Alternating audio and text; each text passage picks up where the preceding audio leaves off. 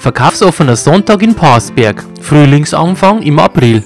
Genau richtig war das Wetter für den verkaufsoffenen Sonntag am 26. April für die zahlreichen Besucher, die nach Parsberg kamen.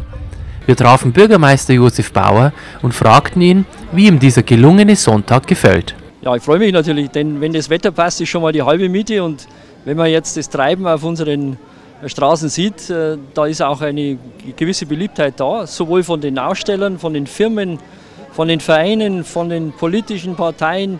Ich glaube, alles lässt sich hier zeigen und engagiert sich am verkaufsoffenen Sonntag und freue mich natürlich außerordentlich für die Organisatoren.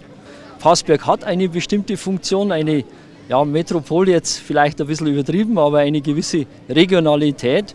Denn Passberg als Mittelzentrum hat auch dementsprechend natürlich eine Anziehungskraft und das sieht man bei diesem verkaufsoffenen Sonntag ganz deutlich.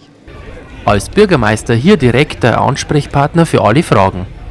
Ja, das mache ich eigentlich immer schon ja, seit mehr als 14 Jahren und ich kann nur sagen, näher am Menschen, das liegt mir eigentlich schon, denn dann kann man sehr viel erklären. Die Bürger sind sehr interessiert, das fällt mir also bei jedem verkaufsoffenen Sonntag auf und äh, das ist eine gute Kommunikations Kommunikationsstätte in der Ortschaft, in der Stadtmitte und äh, macht mir auch wirklich Spaß. Äh, ich glaube, äh, der Turm, der jetzt im Gespräch ist, ja auf dem Lupburger Gewerbegebiet, ist sicherlich auch ein Thema. Gerade haben wir erst darüber diskutiert mit Lupburger, wie man das sehen kann. Ich glaube, das ist ein Dialog, der ganz normal stattfindet. Ich sehe das positiv, wenn man darüber redet. Ich glaube, die, die guten Beziehungen zu Lupburg werden da nicht äh, strapaziert. Auch Live-Musik mit bekannten Musikern wurde geboten. Da konnte man bei einem kühlen Malz oder einem Bohnenkaffee den Biergarten erstmals richtig genießen.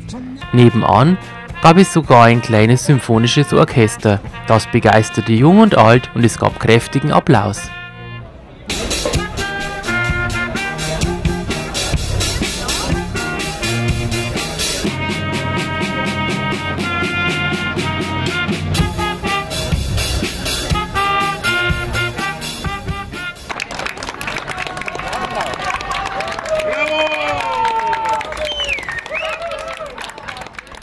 Die verschiedenen Gruppen und Vereine hatten eine Menge Spaß und präsentierten sich.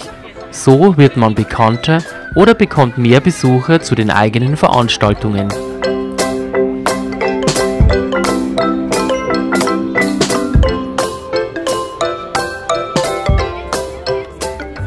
Den zweiten Vorsitzenden der Pausberger Unternehmergemeinschaft, Herrn Grotter, befragten wir zur Organisation dieses Events. Die Organisation läuft wie eigentlich immer ab, äh, per Telefon, per Mail, also jederzeit unsere Kontakte. Die Ansprechpartner bin ich dafür, also für die ganze Organisation an diesem Sonntag, das übernehme ich. Läuft eigentlich sehr human ab, also es gibt wenig Probleme damit und haben sehr, sehr viele bereit gemacht. Die Vereine machen damit, sehr stark jetzt die, die Feuerwehr und die, das THW heuer. Äh, dann halt mit der Leistungsschau für die Autos. Die Zusammenarbeit, das ist äh, total homogen. Also sprich, da braucht man sich gar nichts kümmern, das wird automatisch gesperrt.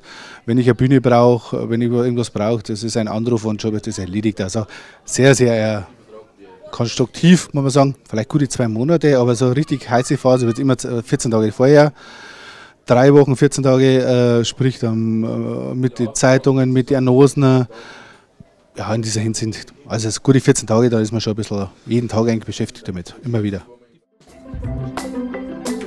Aber nicht nur in der Stadtmitte, sondern auch in den Pausberger Firmen wurde ein Tag der offenen Tür gefeiert. Mit Erfolg, wie man hier sieht. Ein rundum gelungener verkaufsoffener Sonntag für Groß und Klein und mit allen Köstlichkeiten, die man sich wünscht. Kommen Sie doch auch einmal nach Pausberg zum verkaufsoffenen Sonntag, einmal im Frühjahr und einmal im Herbst. Und wenn Sie am 10. Mai noch nichts vorhaben, dann besuchen Sie den Tag des Handwerks in Lubburg von 10 bis 17 Uhr. Auf Wiedersehen.